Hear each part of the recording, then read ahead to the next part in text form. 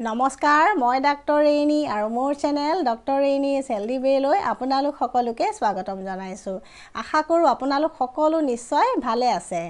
আজিৰ ভিডিঅ'টোৰ টপিক হৈছে থলুৱা ব্যঞ্জনেৰে সুস্বাস্থ্য বা থলুৱা খাদ্যৰে সুস্বাস্থ্য।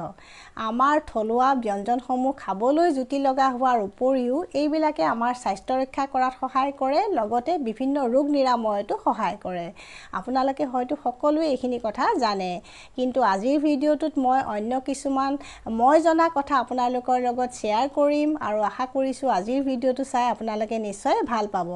আজিৰ ভিডিঅ'টোত মই অসমৰ কিছুমান থলুৱা খাদ্য বা থলুৱা ব্যঞ্জনে কিদৰে আমাৰ কিছুমান ৰোগ নিৰাময়ত সহায় কৰে সেইখিনি কথা শ্বেয়াৰ কৰিম। গতিকে আপোনালোকে প্ৰথম পৰা শেষলৈকে ভিডিঅ'টো চাই থাকিব যাতে সকলোখিনি কথা ভালকৈ বুজি পায়। গতিকে ভিডিঅ'টো দেৰি নকৰোঁ আৰম্ভ কৰোঁ আহক।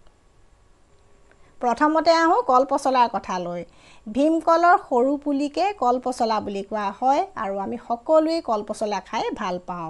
আৰু বিভিন্ন ধৰণৰ ব্যঞ্জন বনাওঁতে আমি কল পচলা ব্যৱহাৰ কৰোঁ আৰু তেনে কিছুমান জনপ্ৰিয় ব্যঞ্জন হৈছে কল পচলা দি বনোৱা মুৰ্গীৰ মাংস কল পচলা দি বনোৱা বুটৰ ভাজি বা কল পচলা আৰু মচুৰ দাইলৰ আঞ্জা বা কল পচলা বেঙেনা আলু দি বনোৱা জ্বলা ভাজিখন।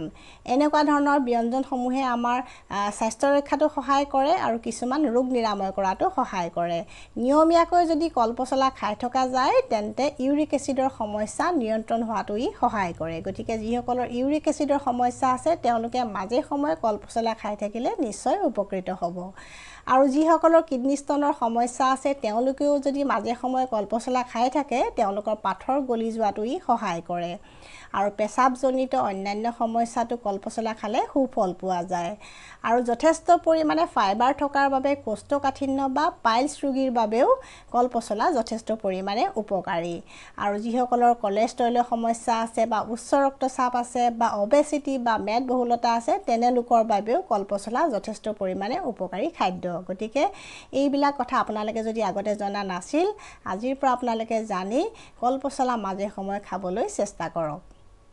এতিয়া আহোঁ কলখাৰ বা কলাখাৰৰ কথালৈ সাধাৰণতে ভীমকল বা আঠিয়া কলৰ বাকলি শুকুৱাই সেই বাকলি পুৰি কলাখাৰ প্ৰস্তুত কৰা হয় নাইবা ভীমকল বা আঠিয়া কলৰ মধুনা পুৰিও তাৰ পৰা খাৰ প্ৰস্তুত কৰা হয়। কিন্তু সাধাৰণতে আমাৰ সকলোৰে ঘৰত ভীমকলৰ বাকলি এভেইলেবল থাকে আৰু আমি তাৰ পৰাই খাৰ বনাই বিভিন্ন ধৰণৰ খাৰৰ ব্যঞ্জনত আমি সেই খাৰ ব্যৱহাৰ কৰোঁ। আৰু তেনে কিছুমান আমাৰ জনপ্ৰিয় ব্যঞ্জন হৈছে মাটিমাহৰ খাৰ অমিতাৰ খাৰ শেৱালি ফুলৰ খাৰ বা অন্যান্য অন্যান্য খাৰৰ কিছুমান ব্যঞ্জন। আৰু এই খাৰৰ ব্যঞ্জনসমূহ যদি আমি খাই থাকোঁ তেন্তে আমি কফজনিত বিভিন্ন সমস্যাৰ পৰা হাত সাৰি থাকিব পাৰোঁ। আৰু আপোনাৰ যদি কেনেবাকৈ ফেৰিনজাইটিছ হৈ মাত বহি গৈছে বা আপোনাৰ যদি বুকুত কফ জমা হৈ আপোনাৰ মাতটো বহি গৈছে তেন্তে আপুনি কল খাৰণি অকণমান উলিয়াই লৈ তাৰ লগত অকণমান মিঠাতেল দি যদি গৰম ভাতৰ লগত সানি খায় তেন্তে আপোনাৰ এই সমস্যাৰ পৰা আপুনি পৰিত্ৰাণ পাব পাৰিব। আৰু ইউৰিক এচিডৰ সমস্যা থকা লোকৰ বাবে খাৰ আটাইতকৈ উত্তম হয়।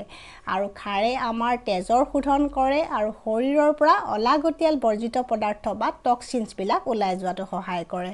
আৰু আমাৰ শৰীৰত থকা এচিডৰ যিখিনি এক্সট্ৰা লোড আছে সেইখিনি কম কৰাটো খাৰে আমাক সহায় কৰে। আৰু ছালৰ বিভিন্ন সমস্যা যেনে পিম্পলছ এলাৰ্জি বা অন্যান্য কিছুমান স্কিন প্ৰব্লেমতো খাৰ খালে সুফল পোৱা যায়।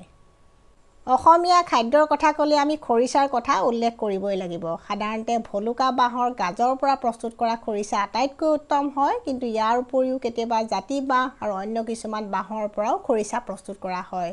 আৰু খৰিচা যিমানেই পুৰণি হয় ইয়াৰ ঔষধি গুণাগুণ সিমানেই বৃদ্ধি হয় বুলি জনবিশ্বাস আছে। প্ৰসূতিসকলক সন্তান জন্মৰ পিছত মাগুৰ শিঙি আদি মাছৰ লগত খৰিচা দি বনোৱা এখন শুকনি আঞ্জা খাবলৈ দিয়া হয়।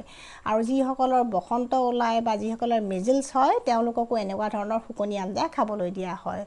আৰু আমাৰ যদি কেনেবাকৈ হাতত বা শৰীৰৰ অন্য অংশত বৰল বা মৌ মাখিয়ে বিন্ধে তেনে ক্ষেত্ৰত আমি যদি পকা খৰিচা লগাওঁ বা টেঙা খৰিচা লগাই দিওঁ আমাৰ হাতৰ সেই অংশখিনিত বা শৰীৰৰ অংশখিনিৰ বিষ যথেষ্ট কমি যায় আৰু আমাৰ এই সমস্যাটোত আমি যথেষ্টখিনি ভাল ফলাফল লাভ কৰোঁ। কিন্তু এই খৰিচা আপোনাৰ যদি থাইৰয়ডৰ সমস্যা আছে বা গেছৰ সমস্যা আছে বা কিডনীৰ সমস্যা আছে তেনেহ'লে আপোনালোকে সেৱন নকৰাই ভাল কাৰণ এনেকুৱা ক্ষেত্ৰত আপোনাৰ সমস্যাসমূহ জটিল হ'ব পাৰে। এতিয়া আহোঁ কচু শাকৰ কথালৈ। অসমীয়া আৰু কচু শাক এই দুইটা বস্তুৰ মাজতে ওতঃপ্ৰোত সম্বন্ধ আছে। কচু শাকৰ আঞ্জা আমাৰ সকলোৰে প্ৰিয় হয়। প্ৰসূতিসকলক সন্তান জন্মৰ পিছত কচু শাকৰ এখন জালুকীয়া আঞ্জা বনাই খাবলৈ দিয়া হয় আৰু এইখন আঞ্জাই তেওঁলোকৰ ৰক্তহীনতা দূৰ কৰে আৰু গৰ্ভাশয়ৰ স্বাভাৱিক অৱস্থা ঘূৰি অহাটো সহায় কৰে লগতে স্তনত দুগ্ধৰ পৰিমাণো বৃদ্ধি কৰে। আৰু যিসকলৰ এনিমিয়া আছে তেওঁলোকে যদি মাজে সময়ে কচু শাকৰ আঞ্জা খাই থাকে তেওঁলোকৰ ৰক্তহীনতা বা এনিমিয়া দূৰ কৰাত সহায় কৰে। আপোনালোকে হয়তো কচু শাকৰ বিভিন্ন ঔষধি গুণাগুণৰ কথা জানে কিন্তু আজিৰ ভিডিঅ'টোত মই দুটামান আপোনালোকক কচু শাকৰ অপকাৰিতাৰ বিষয়ে ক'ম।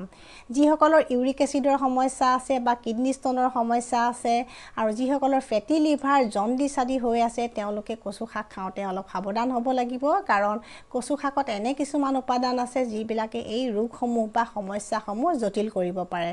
গতিকে আপোনাৰ যদি এই ৰোগসমূহ বা সমস্যাসমূহ হৈ আছে তেন্তে আপোনালোকে পৰাপক্ষত কচু শাক নেখাব। অসমীয়া ব্যঞ্জনৰ কথা ক'লে বা অসমীয়া খাদ্যৰ কথা ক'লে আমি বিভিন্ন ধৰণৰ টেঙা টুকুচাৰ কথা উল্লেখ কৰিব লাগিব। মধুসোলেং টেঙা মৰা থেকেৰা টেঙা বা চুকা শাক বা এনেকুৱা ধৰণৰ বিভিন্ন টেঙা খাদ্য আমি বিভিন্ন ব্যঞ্জনত ব্যৱহাৰ কৰোঁ আৰু এইবিলাকে আমাৰ স্বাস্থ্য ৰক্ষা কৰাত বিভিন্ন ধৰণে সহায় কৰে। আৰু এইবিলাক টেঙা খাদ্যত আচলতে প্ৰচুৰ পৰিমাণে ভিটামিন চি থাকে যিয়ে আমাৰ দেহৰ ৰোগ প্ৰতিৰোধ ক্ষমতা বৃদ্ধি কৰাত সহায় কৰে। আৰু এনেকুৱা ধৰণৰ টেঙা টুকুচা যদি আমি খাই থাকোঁ তেন্তে আমাৰ পেটৰ বিভিন্ন সমস্যাৰ পৰা আমি হাত সাৰি থাকিব পাৰোঁ। আৰু গৰমৰ দিনত সাধাৰণতে যিবিলাক পেচাবৰ সমস্যা হৈ থাকে বা যিসকলৰ পেচাবজনিত সমস্যা আছে তেনে ক্ষেত্ৰত এনেকুৱা টেঙা টুকুচা খাই থাকিলে যথেষ্ট পৰিমাণে ভাল ফলাফল পোৱা যায়। শেৱালি ফুল তিতা ফুল তিতা কেৰেলা নিমপাত এনেকুৱা তিতা খাদ্য যদি আমি মাজে সময়ে খাই থাকোঁ তেন্তে আমি বিভিন্ন ৰোগৰ পৰা হাত সাৰি থাকিব পাৰোঁ। কাৰণ তিতাই আমাৰ তেজ পৰিষ্কাৰ কৰাত সহায় কৰে আৰু আমাৰ শৰীৰৰ পৰা অলাগতিয়াল টক্সিনছবিলাক ওলাই যোৱাটো সহায় কৰে। যিসকলৰ কফজনিত সমস্যা আছে বা ছালৰ বিভিন্ন সমস্যা আছে তেওঁলোকে মাজে সময়ে এনেকুৱা তিতা খাদ্য খাই থাকিলে তেওঁলোক নিশ্চয় উপকৃত হ'ব। আৰু ইয়াৰ পিছতে আহোঁ নিমখত দিয়া গোল নেমুৰ কথালৈ। আমাৰ প্ৰত্যেকৰে ঘৰতে হয়তো এনে এনেকুৱা নিমখত দিয়া গোলনেমুৰ আচাৰ বা নিমখত দিয়া গোলনেমু থাকে। আৰু এইটো গোলনেমু যিমানেই পুৰণি হয় ইয়াৰ ঔষধি গুণাগুণ সিমানেই বৃদ্ধি হয়। আৰু এনেকুৱা নিমখত দিয়া গোলনেমু আচলতে পেটৰ সমস্যা যেনে ডিচেণ্টি ডায়েৰিয়া আদিত যথেষ্ট পৰিমাণে উপকাৰী। আৰু আমাৰ যেতিয়া পেটৰ সমস্যা হয় তেনেকুৱা ক্ষেত্ৰত আমি এনেকুৱা নিমখত দিয়া গোলনেমু খাই দিওঁ। আৰু ইয়াৰ উপৰিও অন্য কিছুমান আমাৰ অসমীয়া খাদ্য আছে যিয়ে আমাৰ স্বাস্থ্য ৰক্ষা কৰাত সহায় কৰে। আজিৰ ভিডিঅ'টোত মই সেইখিনি আলোচনা নকৰোঁ। অন্য এটা ভিডিঅ'ত সেইখিনি আলোচনা কৰিম। আজিলৈ মই ইমানতে সামৰিছোঁ আৰু আশা কৰিছোঁ আজিৰ ভিডিঅ'টো আপোনালোকৰ নিশ্চয় ভাল লাগিছে আৰু ভাল লাগিলে মোৰ ভিডিঅ'সমূহ আপোনালোকে শ্বেয়াৰ কৰিব আৰু যিসকল নতুন ভিউৱাৰ্ছ আছে তেওঁলোকে যেন মোৰ চেনেলটো ছাবস্ক্ৰাইব কৰিবলৈ নাপাহৰে। ধন্যবাদ জনালোঁ।